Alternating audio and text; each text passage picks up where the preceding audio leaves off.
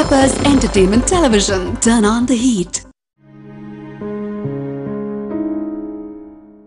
வணக்கம் படித்ததில் பிடித்தது நிகழ்ச்சிக்கு நேரில் அனைவரையும் அன்புடன் வரவேற்பது உங்கள் புத்தக நண்பன் கணேஷ் பிரபு நான் சமீபத்தில் படித்த அற்புதமான விவேகானந்தா அவர்களுடைய பொன்மொழி என்னென்னா நாம் அன்பின் மூலமாக செய்யப்படும் ஒவ்வொரு செயலும் இன்பத்தை கொண்டு வந்தே தீரும் சரி இன்றைய படித்ததில் பிடித்தது நிகழ்ச்சியில் நம்ம சந்திக்க இருக்கக்கூடிய முக்கியமான பிரபலம் யாருன்னு பார்த்தீங்கன்னா மிகச்சிறந்த சமூக ஆர்வலர் சிறந்த பேச்சாளர் மதிப்பிற்கும் மரியாதைக்கும் உரிய பேராசிரியை ஜெயந்த ஸ்ரீ பாலகிருஷ்ணன் வணக்கம் எங்களுடைய பெப்பர் ஸ்டீவினுடைய படித்ததில் பிடித்தது நிகழ்ச்சிக்கு நீங்க வந்தது எங்களுக்கெல்லாம் சந்தோ- சந்தோஷமாவும் பெருமையாகவும் இருக்கு. கூப்பிட்டதுக்கு ரொம்ப நன்றி. மேடம் நீங்க வந்து ஆங்கில துறை பேராசிரியரா இருக்கீங்க. சரி. உங்களுக்கு எப்படி தமிழ் மேல இவ்வளவு ஆர்வம் வந்தது? இந்த கேள்வி எல்லாரும் என்ன கேக்குறாங்க. ஆ. ஏன் கேக்குறாங்கன்னு எனக்கு ஒரு வருத்தம் இருந்தா கூட அப்பாடா கேட்டுட்டாங்களேங்கிற ஒரு நிம்மதியும் ஒரு கேட்டு. முடிச்சதுக்கு அப்புறம் ஏன்னா இந்த துறை சார்ந்து நீங்க முதல்ல இருந்தே படிக்கவே இல்லை இல்லையா? தமிழ் சார்ந்து நீங்க வந்து அதுக்கப்புறமா நீங்க அதுல பிஹெச்டி வர பண்ணிருக்கீங்க. ஆமா. அதனாலதான் அந்த கேள்வி வருது. இல்ல வேற ஒண்ணும் இல்ல. நான் எங்க அம்மா வயித்துக்குள்ள இருந்த போது அவ என்கிட்ட பேசின மொழி தாய்மொழி தமிழ். அவளுடைய வருத்தங்களையும் அவளுடைய பயங்களையும் அவளுடைய ஆர்வத்தையும் என்னை பத்தின அவளுடைய எதிர்பார்ப்பையும் மத்தவங்களுக்கு கேட்காம மனசுக்குள்ள பேசின மொழி என்னுடைய மொழி தாய்மொழி. ஸோ இது பிடிக்கலைன்னா வேற எது பிடிக்கும்? எனக்கு நிஜமா விளங்கல. வயிற்றுக்காக ஒரு மொழி அது ஆங்கிலம். வாழ்க்கைக்காக ஒரு மொழி அப்படின்னா அது தமிழ் தானே? வாழ்க்கைக்கான மொழி வாழ்க்கைக்கான மொழி. வாழ்க்கைக்கு அப்படின்னா என்னுடைய சிந்தனை தமிழ்ல தான். இந்த தமிழுக்குள்ள நான் வராம இருந்திருந்தா என்னமோ ஆயிருப்பேன்? என்ன ஆயிருப்பேன்னு தெரியாது. நான் என்னமோ ஆயிருப்பேன். ரொம்ப பெரிய சந்தோஷம் அம்மா தமிழாக இருந்தது. அவ என்கிட்ட பேசினது. அது சுவாசிக்கிறதுக்கு நல்லா இருக்கு. ஒரு ஒரு தமிழ் சுவாசம் அப்படிங்கும்போது அது அழகா தான் இருக்கு. ரொம்ப அழகா சொன்னீங்க. ஒரு மொழியாக தான் இருக்கு. அதே போல் உங்களுடைய நடையெல்லாம் பார்த்தீங்கன்னா ரொம்ப எளிமையாக இருக்குது உங்களுடைய பேசுகிற தன்மை இதெல்லாமே வந்து ரசிக்கும்படியாகவும் இருக்குது ஒரு ஒரு சிநேகிதி வந்து பக்கத்தில் உட்காந்து கை பிடிச்சிக்கிட்டு இருக்கிற மாதிரி ஒரு ஃபீல் பண்ணி நீங்கள் பேசுகிறீங்க இது எப்படி உங்களுக்கு இயல்பான ஒரு விஷயமாவே இருக்கா? இல்ல அப்படிதானே இருக்கும். எனக்கு விலங்குகள் ரொம்ப பிடிக்கும். அப்படிதான் தொடங்குறேன். சரி. ஆ. விலங்குகள் மட்டும் இல்ல செடி கொடி எல்லாமே ரொம்ப பிடிக்கும். சரி. அந்த விலங்குகள் கிட்ட பழகும்போது நான் பெரும்பாலும் நினைக்கிறது உண்டு நான் யாரு அப்படிங்கிற ஒரு பயோடேட்டா என்னுடைய விலங்குகளுக்கு தேவையில்லை. இன்னும் பெரு பிரம்மாண்டமான ரெசியூமே பத்தி கூட அவங்க கவலைப்படுறது கிடையாது. பூனைகிட்ட வரும்போது பூனைகிட்ட எப்படி வரணும் பூனையா எப்படி வரணும்னு பாக்குறாள் நாய்கிட்ட வரும்போது நாயா எப்படி இருக்கணும் அப்படின்னு நினைக்கக்கூடிய ஆள். அப்படி வரும்பொழுது சுத்திலும் பாக்குறேன் எல்லாரும் நிறைய காயப்பட்டிருக்கோம். காயப்படுத்துறோம். காயங்களுக்கு யாராவது மருந்து கொடுத்தா தேவையில்லைன்னு தோணுது. வார்த்தை எப்படி வன்முறை கொடுக்குமோ அந்த மாதிரி வார்த்தையால வாத்சல்யமும் கொடுக்க முடியும். வார்த்தையால இணக்கமா பக்கத்துல வந்து நிக்க முடியும். விரல கொத்துக்க முடியும். ஒண்ணும் இல்லை அப்படிதான் இருக்கும் வா போலாம் அப்படின்னு சொல்ல முடியும். இது சொல்ல முடிஞ்சது அப்படின்னா அது ஒரு பெரிய ஒரு சௌபாகியமா பாக்குறேன் எனக்கு யாராவது பண்ணாலே தேவையில்லைன்னு தோணும். அப்ப எனக்கு யாராவது பண்ணா தேவையில்லைன்னு தோன்றது உங்களுக்கு பண்ணா என்ன? அவ்வளவு இது ஒண்ணும் இல்லப்பா. இது it's just be what you are ஆ. இப்போ மேடம் இப்போ இந்த மாதிரி சொல்கிறீங்க நீங்கள் வந்து உங்களுடைய பார்வையில் வந்து ஒரு பூனை பூனைக்கிட்ட பூனையாக இருக்கணும் அந்த மாதிரி அப்படின்னு இதமாக இருக்குது எல்லாருக்குமே. நீங்கள் ஆழ்ந்து மன சிந்தனைக்குள்ள உங்களுக்குள்ள வந்து ஒரு வருத்தம் தொய்கிற பொழுது நீங்கள் உங்களுடைய தேடல் என்னவா இருக்கும்? என்னுடைய தேடல் ஒண்ணுமா இருக்காது. வருத்தங்கள் சத்தியம். நான் வருத்தம் இல்லைன்னு போய் சொல்ல மாட்டேன். அந்த வருத்தத்தை முதல்ல ஒத்துக்குவேன். அப்புறம் என்ன பண்றதுன்னு யோசிப்பேன். ஏன்னா எனக்கு வருத்தமே இல்லையே அப்படிங்கிற ஒரு அப்பட்டமான பொய்யை சொல்றது ரொம்ப கேவலமானது. எனக்கு வருத்தம் தான். சரி வாட் நெக்ஸ்ட். சுத்திலும் பார்க்கும்போது என்னை விட வருத்தப்படுறதுக்கான நிறைய காரணங்களோட நிறைய பேர் இருக்காங்க. இந்த வருத்தம் கூட செல்ஃப் ஜெனரேட்டட் தான் ஒரு விதமான ஒரு புலம்பல் பழகி போனா அந்த பழக்கத்தை விடாம இருக்கிறதுக்காக புலம்புறது தானே தவிர. பெரிதா வருத்தப்படுற அளவுக்கு ஆண்டவன் ஒரு பெருங்கொடுமை ஒன்றும் செய்யலை. தின்ன சொரு ஜீரணம் ஆகுது. நல்ல காத்து இருக்கு குடிக்க தண்ணி இருக்கு. நல்லா இருக்கியா அப்படின்னு கேட்கறதுக்கு நாலு பேர் நாலு பேர் இருக்காங்க. சந்தோஷமா இருக்கீங்க. அது அது சந்தோஷம் தான் நான் ரொம்ப சந்தோஷமா இருக்கேன். இல்ல இதுல வருத்தப்படுறதுக்கு என்ன இருக்குன்னு தெரியல. நிச்சயமா. உங்க நீங்க வந்து இலக்கியம் சார்ந்த புத்தகத்தை படிக்க ஆரம்பிச்சது எப்போ மேடம் ரொம்ப ரொம்ப சீக்கிரமே. எப்போ படிக்க ஆரம்பிச்சீங்கன்னு எனக்கு எப்பவும் தெரியாது. அது இலக்கியம் சார்ந்த புத்தகமானு தெரியாது. பெரிய வரப்பிரசாதம் புத்தகங்களுக்கு நடுவுல பிறந்தது மிகப்பெரிய வரப்பிரசாதம் சோறுதுங்கிற நேரத்துல என்ன படிப்புன்னு கேட்காத அப்பா அம்மா. அதை விட பெரிய அழகான வரப்பிரசாதம் கோவிச்சுக்கிட்டு இறங்கி போற பாட்டி கிட்ட கூட குமுதம் வந்திருக்கு அப்படின்னா உட்காந்துடுற பாட்டி. அப்புறம் ஒரு வந்தியத்தேவனை பத்தி பேச முடிஞ்சது ஒரு வானதியை பத்தி பேச முடிஞ்சது. ஜெயகாந்தனை பத்தி பேச முடிஞ்சது. இதெல்லாம் பத்து வயசுல முடிஞ்சது. வாழ்க்கை அப்படி அமைஞ்சதுப்பா. நன்றி சொல்லத்தான் எனக்கு முடியுமே தவிர. Let me not take credit for something which I have not done இது இதுல பெரிய சாகசம்லாம் ஒண்ணு எல்லாம் யாருக்கு அமைஞ்சாலும் அப்படிதான். இருக்கும். எல்லாம் அமைஞ்சுது. தெய்வம் ஒரு நல்ல எழுதுற திருத்தமாக இங்கு மை தீராத ஒரு பேனாவால முத்துக்கோத்த மாதிரி தலையில எழுதியிருக்கான் போல வாச்சுது. ரொம்ப சந்தோஷம் வாச்சுது எல்லாம். ரொம்ப சந்தோஷம்.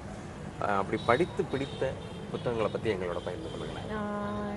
எனக்கு படித்தது எல்லாமே பிடிக்கும். சரி. புரிந்து கொள்ளாமல் போனதெல்லாம் பிடிக்காதுன்னு சொல்ல முடியாது. பல நேரங்களில் நமக்கு ஒன்று புரியலன்னா பிடிக்கலன்னு சொல்லிடுவோம்.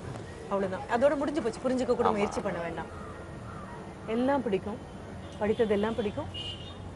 ஆஹ் நீங்க படித்ததில் பிடித்தது அப்படிங்கிறத விட நான் வாசித்ததில் சுவாசித்தது அப்படின்னு நான் சொல்லிப்பேன். பலது மூச்சு காற்றவே கூட கூட வரும். எத்தனை படித்தாலும் என் கூட வந்துட்டு இருக்கக்கூடிய ஒன்று நானாகவே மாறிய ஒன்று என்னை நானாக மாற்றிய ஒன்று. இந்த காலகட்டத்தில் நான் பிரிஞ்சதுக்கு நன்றி சொல்ல சொல்லி என்னை தூண்டிட்டு இருக்கக்கூடியது தெரியல எனக்கு ஜெயகாந்தனை தவிர வேறு யாரையும் தெரியல.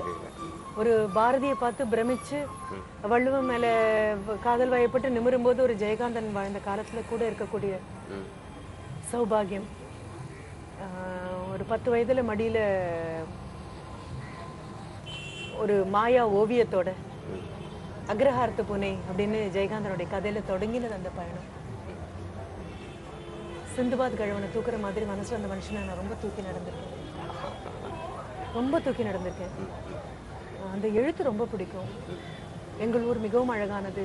எங்கள் ஊரில் எல்லோரும் அழகாகத்தான் இருப்பார்கள். எங்கள் அக்ரஹாரம் மிகவும் அழகாக இருக்கும். மனதுக்கு பிடித்தவர்கள் எங்கிருந்தாலும் அழகாகத்தானே இருக்கிறார்கள். அதை நினைப்பதே சுகமாக இருக்கிறது அப்படிலாம் தொடங்குவார் அவர். விழுந்து விழுந்தேன் எழுந்திருக்கவே இல்லை அதுக்கப்புறம். ரொம்ப வசீகரம்னு சொல்ல மாட்டேன். ஒரு ஒரு ஒரு தெய்வ வாக்கு மாதிரி ஒரு அசரீரி மாதிரி அவருடைய குரல் காதலை கேட்டுட்டே இருக்கக்கூடிய ஒரு ஒரு எழுத்தாக இருந்தது. அது அவருடைய கோடுகளை தாண்டாத கோலங்களாக இருந்தாலும் சரி. இல்லை ஒரு யுகசந்தியாக இருந்தாலும் சரி. சிறுகதைகளாக இருந்தாலும் சரி குறு நாவல்களாக இருந்தாலும் சரி நாவல்களாக இருந்தாலும் சரி. அந்த புத்தகங்களை தொடர்றது அவ்வளோ சந்தோஷமா இருந்தது. தீண்டும் இன்பம் அப்படின்னு சொல்லுவாங்கல்ல அந்த மாதிரி அவருடைய முன்னுரைகள் மேல எல்லாம் எனக்கு பெரிய மோகம். என்னுடைய பெரிய பகவத்கீதை அவருடைய முன்னுரைகள். எப்போ எப்ப வேணாலும் போனால் எந்த பக்கத்தை வேணாலும் படிக்கலாம் எந்த வரியை வேணாலும் படிக்கலாம். அவர் சொல்ற மாதிரி உங்கள் கையில் விரிந்திருப்பது ஒரு புத்தகம் அல்ல. ஒரு படைப்பாளியின் இதயம் என்பதை உணர்ந்து உணர்வுபூர்வமாக படியுங்கள் அப்படின்னாரு வால்ட்விட்மன் கூட அதே பிற்காலத்தில் நான் படிக்கும்போது சொன்னேன் ரொம்ப வருடி கொடுக்குற எழுத்தெல்லாம் இல்லைப்பா. பொழையர்னு அடிக்கணும்னா ரெண்டு கன்னத்துலேயும் ரெண்டு கையும் கோத்து அடிக்கும். ஆனால் அந்த அடி ரொம்ப நல்லா இருக்கும். இப்படி அடித்தா தான் உருப்படுவேன் அப்படின்னு தோணும். ஒரு ஒரு சிறியனை சிந்திக்காத எழுத்து. நனி நாகரிகம்னா என்னன்னு சொல்கிற எழுத்து. வார்த்தையால யாரையும் காயப்படுத்திடாதே அப்படின்னு சொன்ன எழுத்து எல்லாருக்கும் மரியாதை கொடுத்து பாருன்னு சொன்ன எழுத்து எல்லாத்தையும் கண்ணை மலர்த்தி மலர்த்தி ஆச்சரியமா பார்த்து பழகுன்னு சொன்ன எழுத்து பாரதியோட எத்தனை கோடி இன்பம் வைத்தா எனக்கு புரியறதுக்கு வச்சு எழுத்தது எனக்கு அவருடைய கல்யாணி அவருடைய ஹென்றி எல்லாம் நான் அன்றாடம் ரோட்ல தேடுற நபர்கள். யாருக்குள்ள இல்லாம அவங்க இருக்காங்கன்னு நான் ஆட்கள் எனக்கு அவர் இறந்து போன செய்தி வந்தபோது கூட எனக்கு தோணுது. எப்போவுமே நான் எட்டி பார்த்தா தெரியக்கூடிய ஒரு மலை. ஒரு பத்து நாளா பார்க்கல திடீர்னு ஜன்னல் திறந்து மலையை காணும் அப்படின்னா எப்படி இருக்கும்? அப்படிதான் தோணுச்சு எனக்கு. வேற ஒன்றும் எனக்கு வேற எண்ணம் வரல. என் மிகப்பெரிய சந்தோஷம் இப்போ என்ன அப்படின்னா ஒரு காலகட்டத்துல ஒரு அக்ரஹார்த்த புனையெல்லாம் நான் படிச்சு சில நேரங்களில் சில மனிதர்கள்லாம் படிச்சு உள்வாங்கி கங்காவையும் வெங்குமாமாவையும் ஒரே மாதிரி பார்க்க மனசு பண்பட்டு பழகி வந்தபோது அப்போ என் என் கூட இருந்த ஆசிரியர்கள் எல்லாம் இது என்ன புத்தகம் படிக்கிறாவ அப்படின்னு கேட்ட காலம் உண்டு. ஆனால் இப்போது தான் ஆச்சு இன்னும் ரெண்டு மாசத்துல ரிட்டையர் ஆகிறேன் ஐம்பத்தெட்டு வயசு. என் முன்னால வந்து என் குழந்தைங்க எல்லாம் உட்காந்துட்டு வெங்குமாமா கதாபாத்திரத்தை பற்றி உங்ககிட்ட நாங்கள் டிஸ்கஸ் பண்ணணும் மேடம் எப்போ ஃப்ரீயாக இருப்பீங்க? அப்படின்னு கேட்குறாங்க நிறைய தூரம் நகர்ந்து வந்திருக்கோம். நிறைய தூரம் நகர்ந்து வந்திருக்கோம். என் குழந்தைங்க கல்யாணியை பற்றி பேசுகிறாங்க என் குழந்தைங்க ரங்காவை பற்றி பேசுகிறாங்க என் குழந்தை இங்கே அந்த திருட்டுமொழி ஜோஸை பத்தி பேசுறாங்க. என் குழந்தைங்க கோகிலாவை பத்தி பேசுறாங்க. என் குழந்தைங்க என் குழந்தைங்க நான் சொல்றது எல்லாமே இதை விட பெரிய விஷயம் என் என் வாழ்க்கையில என் மகன் எங்களுக்கு கொடுத்த மிகப்பெரிய ஒரு அன்பளிப்பான என்னுடைய மருமக இன்னைக்கு காலையில அவ பேசும்போது என்கிட்ட சொல்றா ஒரு மாமியார் மருமகளுக்கு இடையில இப்படி ஒரு பேச்சு வருமான்னு எனக்கு தெரியல. ஆனா வாசிப்புள்ள ரெண்டு பேருக்கு நடுவில் இது கண்டிப்பா வரும். இன்னைக்கு காலையில கல்யாணி கதாபாத்திரம் எவ்வளவு அழகான கதாபாத்திரம் அப்படின்னா இருப்பாங்களா என்ன? ஹென்றி எவ்வளவு அழகான கதாபாத்திரம். வெங்கு மாமா மாதிரி ஒருத்தரை நான் சந்திச்சேன் அப்படிலாம் சொல்லும்பொழுது நான் உண்மையாவே ஜெயகாந்தன் பிறந்த காலத்துல பிறந்தது எனக்கு ரொம்ப பிடிச்சது. ஆனால் தான் இந்த பிடிச்சதுங்கிற வார்த்தைக்குள்ள எனக்கு போட முடியாது. நீங்க படித்தது பிடித்தது ரொம்ப சுலபமா கேட்டுட்டீங்க. படித்த போது என்ன பிடித்தது அப்படின்னா பைத்தியம் பிடித்தது அவ்வளவுதான். அந்த மாதிரி ஒரு ஒரு இன்னிக்கும் இன்னிக்கும். ஒரு ஒரு துவண்டு போக விடாம முதுகெலும்பு கொடுக்கக்கூடிய மிகப்பெரிய எழுத்துக்கள். அதுல நான் எல்லாத்தையும் ரசிக்கிறேன். எல்லாரோடையும் ரசிக்கிறேன். எல்லாரோடையும் பாராட்டுறேன். என் குழந்தைங்க எல்லாம் எழுதக்கூடிய கரு எல்லாத்தையும் பாராட்டுறேன். ஆனா சில பேர் மட்டும்தான் முதல் கால் எடுத்த உடனே இமயமலையில வச்சிடுவாங்க. ஆரம்பமே விஸ்வரூபமான அதுக்கப்புறம் எங்க போறது? உண்மை. அவருடைய தாம்பத்தியம்ல இருந்து ஆரம்பிச்சு தொடங்கின உடனே விஸ்வரூபம் அந்த மனிதர். விஸ்வரூபம் எடுக்கிறது பெருசு இல்ல. விஸ்வரூபமாவே நிக்கிறது பெருசு. அதை விட பெரிய சந்தோஷம். படைச்சவனே முன்னால வந்து நின்னாலும் ஆண்டவன் எனக்கு அடையாளம் தெரியாட்டா? வந்து நிக்கிற ஆண்டவனுக்கு என்ன மரியாதை? எடுத்தது விஸ்வரூபம்னு பார்க்கக்கூடிய திவ்ய நேத்திரம் ஒரு வாசகனுக்கு வாய்க்க பெற்றார். அது ரொம்ப பெரிய சௌபாகியம். அவருடைய எழுத்து எனக்கு அதை கொடுத்து எல்லா விஸ்வரூபங்களையும் பார்க்கக்கூடிய ஒரு சந்தோஷத்தை கொடுத்தது. அதனால நீங்க இந்த கேள்வி கேட்காம இருந்திருந்தாலும் நான் படித்துக்கொண்டே இருந்தால் பிடித்துக்கொண்டே இருப்பது ஏதாவது உண்டு என்றால் ஜெயகாந்தன் தான். அந்த- அந்த மூச்சு திணறலேருந்து நான் வெளியிலேயே வரல. இன்றைய படித்ததில் பிடித்தது நிகழ்ச்சியில பேராசிரியை ஜெயந்த ஸ்ரீ பாலகிருஷ்ணன் அவர்களோட பேசிக்கிட்டு இருக்கோம். தொடர்ந்து பேசுவோம். ஜெயகாந்தன் அவர்களுடைய படைப்புகளை பத்தி சொன்னீங்க. அதுல முக்கியமான ஒரு படைப்பை பத்தி சொல்ல முடியுமா உங்களுக்கு? அந்த கதைகளையே வந்து சொல்ல முடியுமா? ஜெயகாந்தன் ஒரு தடவை கேட்டாங்க. அப்போ கேட்டபோது எப்படி எல்லா கதாபாத்திரங்களுக்குள்ளேயும் நீங்க வரீங்கன்னு என்னுடைய சுயம் பறந்து பட்டது அப்படின்னாரு. அவருடைய கல்யாணி என்னுடைய பெரிய ஆதர்சியம் கல்யாணிக்கு ஒரு ஆணுருவம் கொடுத்தீங்கன்னா அது ஹென்ரியாக மாறி போகும். கதையே முழுக்க சொல்லணுமான்னு எனக்கு தெரியல. நடிகை நாடகம் பார்க்கிறாள். இதெல்லாம் உள்ளங்கையில் ஒரு சொட்டு தண்ணீர் எடுத்து வச்சுட்டு கடல் இப்படி தான் இருக்கும் அப்படின்னு காமிக்கிறது எவ்வளவு ஒரு கடைஞ்செடுத்த முட்டாள்தனமோ. அவ்வளவு முட்டாள்தனம். ஜேகே வந்து இப்படி தொட்டு காமிச்சிட்டு அந்த கதையை சொல்கிறது இல்லை நீங்கள் வாசிக்க தான் வேணும் என்னுடைய அனுபவம் உங்களுடைய அனுபவமாக இருக்காது. ஏன்னா முதல் தடவை அவரை படித்த போது என்னுடைய அனுபவம் வேறு அடுத்தவர் படிக்கும்போது அனுபவம் வேறு. ஆழ்ந்து ஆழ்ந்து போயிட்டே இருக்கும். கல்யாணியோடைய கதாபாத்திரம் ஏன் அவ்வளவு ஒரு ஆதர்சம்? அவரே சொல்றாரு. அப்படி ஒரு கதாபாத்திரம் இருக்குமா என்று கேட்டீர்கள் தெரி தெரியாது எனக்கு. இருக்கலாம். அப்படின்னு அவர் முன்னுரையில accept people as a are and respect them for what they are அப்படின்னு சொல்லி. எல்லாரையும் அவங்கவுங்கள அவங்கவுங்களா ஏத்துக்கிறது அவங்கவுங்கள அவங்கவுங்களுக்காக மதிக்கிறது அப்படின்னு. கல்யாணி அப்படி ஒரு கதாபாத்திரம். அந்த முன்னுரையில சொல்வார் ஏதோ ஒரு காரணத்திற்காக ஒரு பெண் ஆணின் பின்னாலும் ஆண் பெண்ணின் பின்னாலும் வாலாட்டி கொண்டு வருவது ஏதோ ஆணுக்கும் பெண்ணுக்கும் பிடித்துத்தான் இருக்கிறது. அன்பு என்ற பெயரில் நாம் ஒருவரை ஒருவர் முடமாக்கிக் கொள்கிறோம். அப்படின்னு சொல்லிட்டு அடுத்தது இரண்டு பேருக்கு இடையில் ஏற்படக்கூடிய சண்டைக்கு நடுவே வரக்கூடிய அமைதி கூட அமைதி அல்ல அடுத்த சண்டைக்கான ஆயத்தம் தான் அப்படிம்பாரு. வெகு இயல்பாக ஒரு நாடக நடிகை அவ கூட வந்து பரிச்சயமாகக்கூடிய ஒரு பத்திரிகையாளனோட ரங்கா கதாபாத்திரத்தோட. இன்று வந்து போயாச்சு இனி வருவாரா அப்படின்னு எதிர்பார்ப்பு இருக்கா? நாலு நாள் கழிச்சு வந்தா உங்களுக்கு வருத்தம் இல்லையா அப்படின்னா அது வருத்தம் இல்லை வரலாம். வந்ததுக்கு நன்றி. வரலைன்னா காரணம் இருக்கும்? இப்படி ஒரு பெண்ணால அன்புங்கிற பெயர்ல வசியப்படுத்தாம அன்புங்கிற பெயர்ல வளர்ச்சி பிடிக்காம அன்புங்கிற பேர்ல சிறைப்பிடிக்காம அன்புங்கிற பேரை உண்மையா புரிஞ்சுக்கிட்டு விலகி நிற்க முடியும் அப்படின்னா அது ஆண்களுக்கே கூட கொஞ்சம் கஷ்டமா இருக்கும். அவரே சொல்வார் ஆக்கிரமிக்காத அன்புக்கு எங்கும் அங்கீகாரம் கிடையாது அப்படிம்பாரு. அவருடைய முன்னுரையில சொல்றதே தான் நான் திருப்பி சொல்றேன். ஆக்கிரமிக்காத ஒரு அன்பு அது. ரொம்ப அமோகமான அன்பு ஒரு ஆடம்பரம் கூட தான். அப்படியெல்லாம் நேசிக்க முடியுமான்னு தெரியல கடைசியில் அந்த கதாபாத்திரம் வந்து உண்மையான கதாபாத்திரம் தான் அப்படின்னு உங்களுக்கு புரியறதுக்காக அவ காலை உடைச்சு தான் உட்கார வைப்பார். அதில் ரொம்ப ஒரு ஆரக்கள் மாதிரி இருக்கும்பா. ஒரு ஏதோ அசிரியரி மாதிரி. என்னால் நம்பவே முடியாது அந்த கல்யாணியை.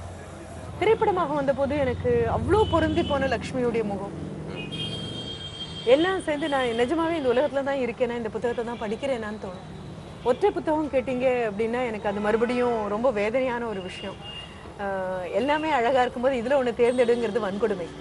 நீங்க எல்லாத்தையும் எடுத்துக்கோங்கன்னு சொல்றதுதான். ஆஹ் அடுத்து ஒண்ணே ஒண்ணு ஹென்றி. ஹென்ரிங்கிறது இன்னொரு ஆதர்சம். ஹென்றி மாதிரி இருக்க முடியும்னா ரொம்ப பெரிய ஒரு விஷயம். யாரையும் வெறுக்க முடியாத அளவுக்கு வாழ்க்கை மேல ஒரு ஈடுபாடும் அன்பும் உள்ள நபர் ஹென்றி. அவனுக்கு அவனையே ரொம்ப பிடிக்கும். தன்னை பிடிக்கிற நபர்களால மட்டும்தான் மற்ற எல்லாரையும் பிடிக்க முடியும். அந்த ஹென்ரியோட கதாபாத்திரத்தை அவனை பேர் சொல்லி கூட கூப்பிடாது அவங்க அப்பா. மகனே மகனேன்னு தான் கூப்பிடுவாரு. அது படிச்சதுக்கு அப்புறம் என்னுடைய மாணவர்களை கூட என்னால பேர் சொல்லி கூப்பிட முடியாத நிலைமைக்கு நான் தள்ளப்பட்டேன். சொல்லு மகனே சொல்லு மகளேன்னு தான் வந்தது. ஏன்னா அதுதான் சத்தியமான உறவு. வார்த்தைகள் எல்லாம் வெறும் விபத்துக்கள் தான். வெறும் பெயர்கள் எல்லாம் கூட வெறும் விபத்துக்கள் தான். Your gender your name your everything is பெரிய விஷயமா. அப்புறம் அவருடைய திருட்டுமொழி ஜோசப். ரொம்ப அபாரமான ஒரு நபர். அப்புறம் நான் எதை விடுறது எதை சொல்றது? அவருடைய கங்கா. சுந்தரகாண்டத்துல வரக்கூடிய எல்லாருமே. சொல்ல போனா பெருமூச்சோட தான் இவங்களை விட்டு அவங்கள பிடிச்சு அவங்கள பிடிச்சு இவங்கள விட்டு. மொத்தமாவே ஜேகே பிடிக்கும்னா அந்த பிளாங்கெட்டுக்குள்ள எல்லாரும் விழுந்துருவாங்க. நிச்சயமா நிச்சயமா மேடம் இதே போல ஜெயகாந்தனுடைய படைப்பு மாதிரியே இன்னொரு பிடித்த உங்களுடைய படைப்பை பற்றி. ஆ எனக்கு சுந்தர ராமசாமி ரொம்ப பிடிக்கும். சுந்தரமா சுந்தர ராமசாமி பிடிக்கும் அப்புறம் அசோகமித்திரன் பிடிக்கும். அவங்களுடைய படைப்புல எது குறிப்பிட்டு சொல்ல முடியுமா? சுந்தர ராமசாமியோட சிறுகதை தொகுப்புகள் அப்படியே ரொம்ப பிடிக்கும். புளிய மரத்தின் கதை பிடிக்கும். அவருடைய காகங்கள் எத்தனை தடவை படிச்சாலும் எனக்கு தீராத மோகம் அவருடைய காகங்கள். சீதை மார்க்சிய கதோள் பல்லக்கு தூக்கிகள் அப்புறம் கோவில் காலை முழவும் ஆடும். இதெல்லாம் ஒரு பானை சோற்றுக்கு ஒரு சோறு பதம் இல்லை. பானையை உடைச்சு அத்தனை சாப்பாட்டையும் கொட்டி ஒத்தத்தையாட்டுங்கிற ஆள் நானு. அது புதுமை பித்தன். அந்த மனுஷனை விட்டுட்டு போக முடியாது. அதே மாதிரி அசோகமித்திரன் மேல இருக்கக்கூடிய மோகம் படிக்க படிக்க அதிகமாயிட்டே போகுது. திரும்பி வந்து பழைய கதையை எடுத்து படித்தோம் அப்படின்னா தண்ணீரை படித்தோம்னா மறுபடியும் தண்ணீர் மேலே மோகம் அதிகமாக போகுது. அப்புறம் அதுக்கப்புறம் வந்து எல்லாரையுமேப்பா யாரு கானாசுவை ரொம்ப பிடிக்கும் மௌனியை ரொம்ப பிடிக்கும் கூப்பாராவை ரொம்ப பிடிக்கும். ரொம்ப சந்தோஷம். இந்த காலகட்டத்துல பிறந்ததுக்கு.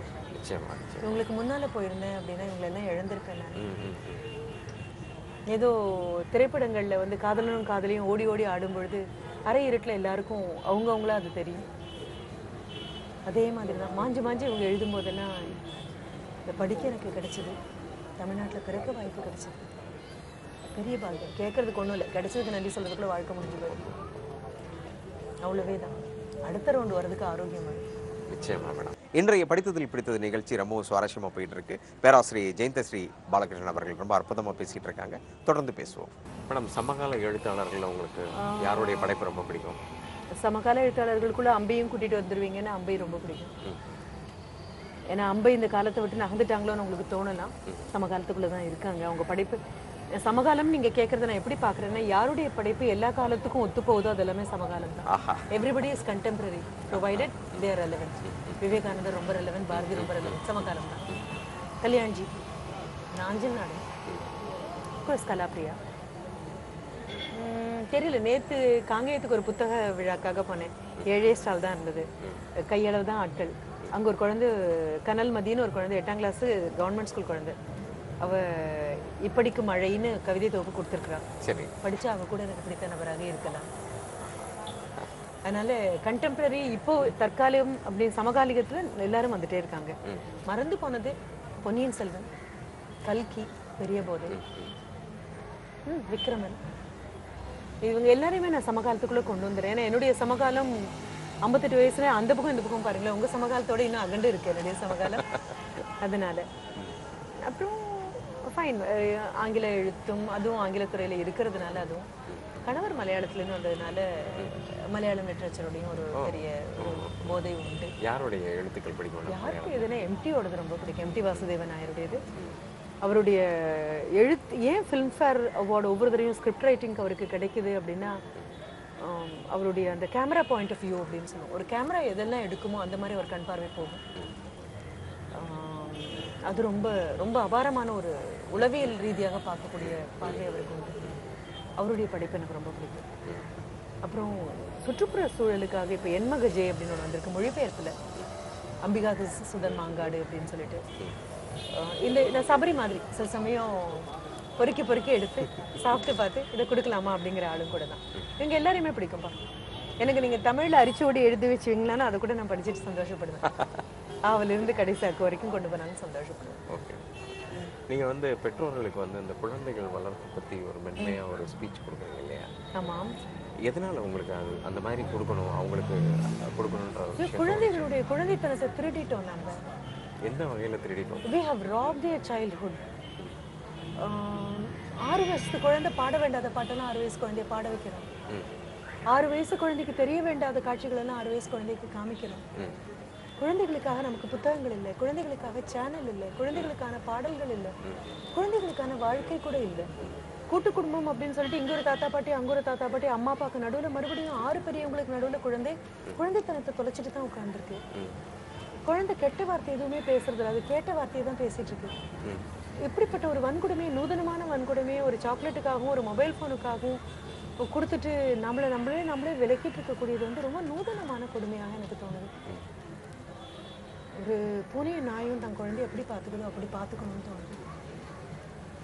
கணவன் மனைவியா இருக்கிறது சுலபம் பெற்றோரா இருக்கிறது மிகப்பெரிய பொறுப்பு. சரி மேடம் அதை நான் ஒத்துக்கிறேன். இப்போ என்னென்னா சில குழந்தைகள் வந்து மொபைல் ஃபோன் வந்து நம்ம கொடுக்க மாட்டோம் வேண்டாம் இது தப்பு அப்படின்னு தெரிஞ்சு நம்ம கொடுக்க மாட்டோம். ஆனால் அந்த குழந்தை நம்ம திருத்துறது கொடுக்க மாட்டோம்னு நாமளும் கூட தானே அடம் பிடிக்கிறோம். விரலை கொடுத்தோன்னா விரலை வாங்கிட்டு மொபைலை விட்டுடும் குழந்தை. விரலை கொடுக்க நேரம் இல்லாததுனால. விபரீதமான பொருட்களை குழந்தைக்கு கொடுக்குறோம். அம்மா இஸ் ஈக்குவல் டு சாக்லேட் அப்பா is equal to mobile phone பாட்டி இஸ் ஈக்குவல் டு திஸ் தாத்தா இஸ் ஈக்குவல் டு திஸ் அப்படின்னு சொல்லிட்டு நாம தான் சொல்லி கொடுத்துருக்கோம். சரி இது எப்படி மாற்றலாம் நாம மாறினா நிலைமை மாறும். சரி ஒரு மாறினதாகவே வச்சுக்கோங்களேன். ஆனால் அடம் பிடிக்கிறதுன்றது வந்து பெரியவங்களோட குழந்தைங்களுக்கு தானே அதிகமாக ஒண்ணும் இல்லை குழந்தைகிட்ட உங்க மொபைலையும் உங்க லேப்டாப்பையும் நகர்த்திட்டு உட்காருங்க. குழந்தை மொபைலையும் லேப்டாப்பையும் கேட்காது. நம்ம யூஸ் பண்ணக்கூடாதுன்றீங்களா? உங்களுக்கு இருக்கிற உரிமை குழந்தைக்கு இருக்கு. அவ்வளவே. அதனால அது கேட்கும் குழந்தைய ஒதுக்கி வச்சுட்டு உங்க மொபைல் உங்களுக்கு முக்கியம் குழந்தைய ஒதுக்கி வச்சுட்டு உங்களுக்கு லேப்டாப் உங்களுக்கு முக்கியம்னா உங்களை ஒதுக்கி வச்சுட்டு குழந்தைக்கு ஆனால் அவன் அடுத்த வீட்டுக்கு போயிட்டு அதெல்லாம் கிடைக்குதே அங்கே போயிடுறானே. கொஞ்சம் கொஞ்சமா தானே தொடங்கணும்ப்பா நம்ம வீட்லயே நம்ம தொடங்கலையே பக்கத்து வீட்டு தானே சொல்றோம். சரி நம்ம தொடங்கியிருக்கோம்னு வச்சுக்கோங்களேன். அப்போ ஒட்டுமொத்தமாக எல்லாரையும் வந்து எல்லாரும் மாறுவாங்களா? அது மாற்றத்துக்கான அதான் அது மாற்றத்துக்கான விதை என்னவா இல்ல இருக்கும் மாற்றத்துக்கு தொடக்கம் தடுமாற்றமும் ஏமாற்றமுமா தான் இருக்கும். அப்புறம் தான் மாற்றம் வரும். ஜிம்பும்பான்னு சொன்ன அடுத்த நிமிஷம் உலகம் எல்லாம் மாற நிச்சயமா இது வரைக்கும் எந்த மாற்றமும் வரல. பூமிக்கு இன்னும் இருபத்தி நாலு மணி நேரம் தேவைப்படுது சுத்த. ஓட்ட விதைக்கு நாலு வருஷம் ஆகுது வளர்றதுக்கு. சூரியன் கூட நிதானமா தான் சுத்தி வரான் எத்தனை ஃபாஸ்ட் ஃபுட் சாப்பிட்டாலும் அம்மாவுக்கு பத்து மாசம் ஆகணும். ஒரு குழந்தைய முழுசா பெத்தெடுக்க அதனால எல்லா வளர்ச்சிக்கும் நேரம் வேணும் பொறுமை வேணும் நடக்குங்கிற நம்பிக்கை வேணும். நடத்தி காட்டணுங்கிற முடிவு நிச்சயமா மேடம். ரொம்ப ரொம்ப சந்தோஷம். எங்களுடைய நிகழ்ச்சியில் நீங்கள் வந்து கலந்துக்கிட்டு அழகாக ரொம்ப அற்புதமாக ரொம்ப தெளிவாக நிதானமாக நன்றிப்பா. ஒரு இந்த நிகழ்ச்சி ரொம்ப அற்புதமாக அமைஞ்சது. நிகழ்ச்சிக்கு வந்ததுக்கு மீண்டும் ஒரு முறை பெப்பர்ஸ் டிவி தன்னுடைய மனமார்ந்த நன்றி பாராட்டுதலையும் தெரிவித்துக்கிறேன் வாய்ப்புக்கு மிக்க நன்றிப்பா. மிக்க நன்றி. இன்றைய படித்ததில் பிடித்தது நிகழ்ச்சி ரொம்பவுமே அற்புதமாக இருந்தது. பேராசிரியை ஜெயந்தி ஸ்ரீ பாலகிருஷ்ணன் அவர்கள் அவங்களுக்கு உரிய பாணியில் ரொம்பவும் மென்மையாக அற்புதமாக அழகாக பேசுனாங்க. சரி இதே போல இன்னொரு நிகழ்ச்சியில் உங்களை வந்து சந்திக்கும் வரை உங்களிடமிருந்து விடைபெறுவது உங்கள் புத்தக நண்பன் கணேஷ் பிரபு. நன்றி.